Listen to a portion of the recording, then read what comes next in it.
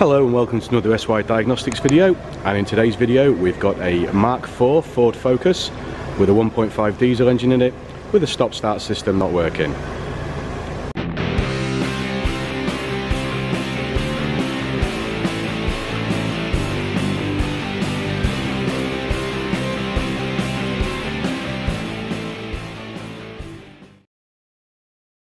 So I'm going to put some live data up now, uh, some fault codes first should I say.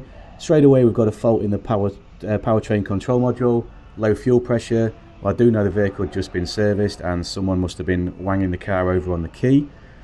Um, we've got some fault codes in the power steering control module as well and one for the steering angle sensor which is quite interesting because the steering angle sensor is also part of the uh, stop start system. So let's get some live data up now.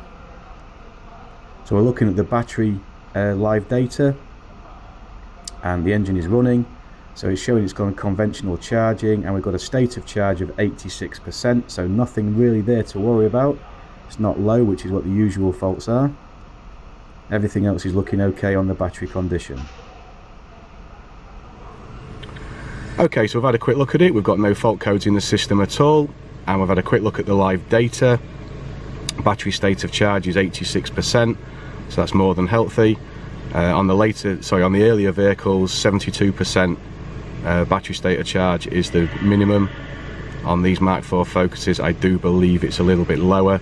That's for certain on the one litre mild hybrid. Uh, on the 1.5 diesel I'm not so sure.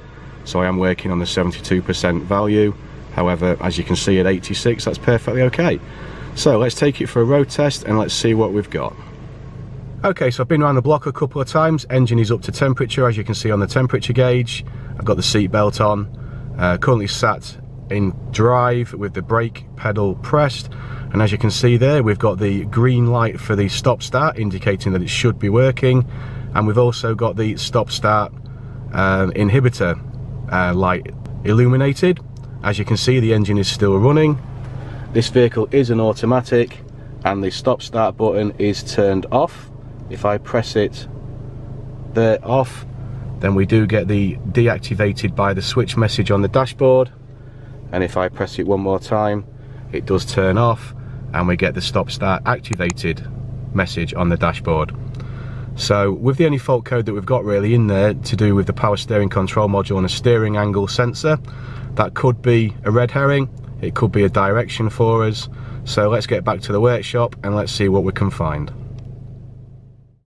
So we've got some live data up now for the power steering control module and as you can see I am moving the steering wheel and we've got the current of the motor so that's indicating there. We've got a steering wheel alignment offset of minus 3.8 this is its um, just its offset value. It's not the actual value of the steering angle sensor because that's in the ABS so everything there appears to be okay. No problems to see here. So now we're going to get the ABS up and look at the steering angle sensor and as you can see there I'm moving the steering wheel from side to side uh, so that's indicating so we've got no problems there.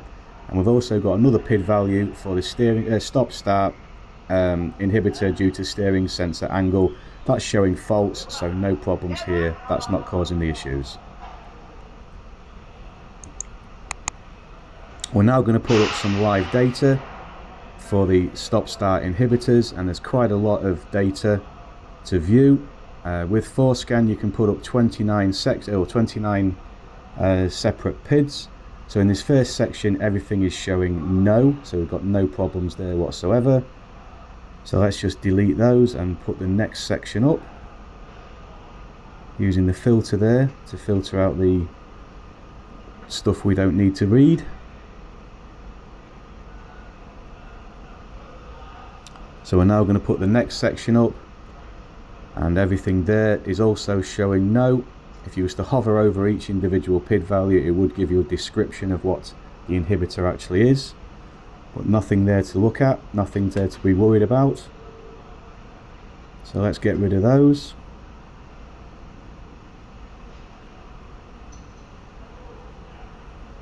And put the next section up. As you can see here there's quite a lot of information that's useful for looking at with this stop start system.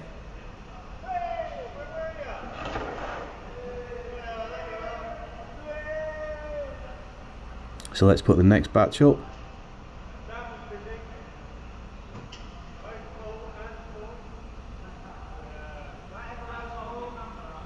And everything there is good as well. We've got a full screen of nose. So it gets a little bit worrying now because everything is showing good, yet the stop start it's still got a bit of a glitch in there. It's showing that the light should be switching the engine off, but it's still showing that there's a fault or it's inhibited from operating. So let's put the next section of inhibitor PID values. Let's see if we can find anything. So let's transfer those across. Press the go button. Let's press start. And straight away there in the second row we've got one that says yes. And that is stop start feature is inhibited due to battery engine management. And that's part of the body control module that controls the battery engine management with inputs from the battery monitoring sensor and obviously um, powertrain control module inputs as well.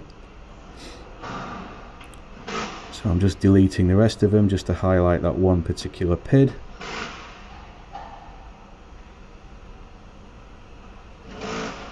And there we can see stop start inhibitor G208 is showing yes and that is inhibited due to battery engine management. So we've got a little bit of direction now.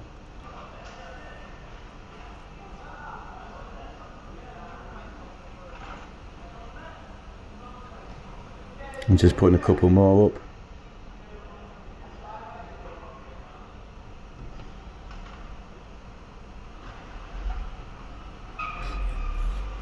And we've also now got another PID showing there. So at the minute I'm highlighting the battery current. It's a little bit erratic. Uh, battery state of charge is 88% so it's gone up 2% but we have got another inhibitor that's now showing and that is the battery capacity is too low. Well what this is this is a reconfiguration of the body control module which I did carry out off screen but it didn't make much of a difference. I carried that out after this screen obviously.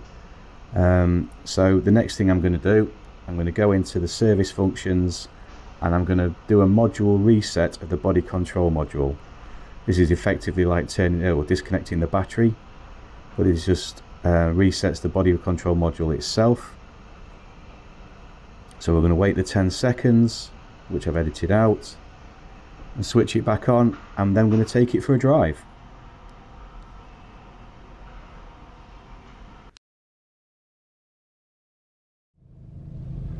Okay, so I've just done a reset of the um, body control module. Uh, sorry the camera's not focusing very well. Um, and for legal and obviously safety reasons, I'm not driving on the road. I'm in our back compound area, which is quite big if anybody knows where I am.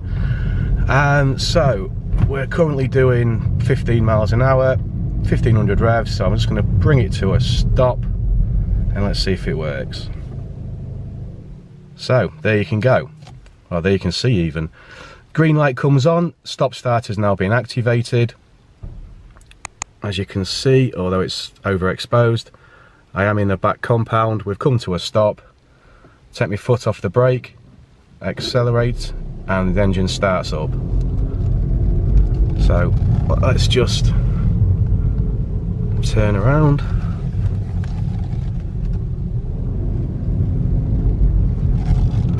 Hopefully we've gone enough distance to make it work again. So let's come to a stop again. And the engine cuts out nicely. So just a little reset there uh, of the body control module and some valuable live data values to look at there for you guys. And I'm going to call that a fix.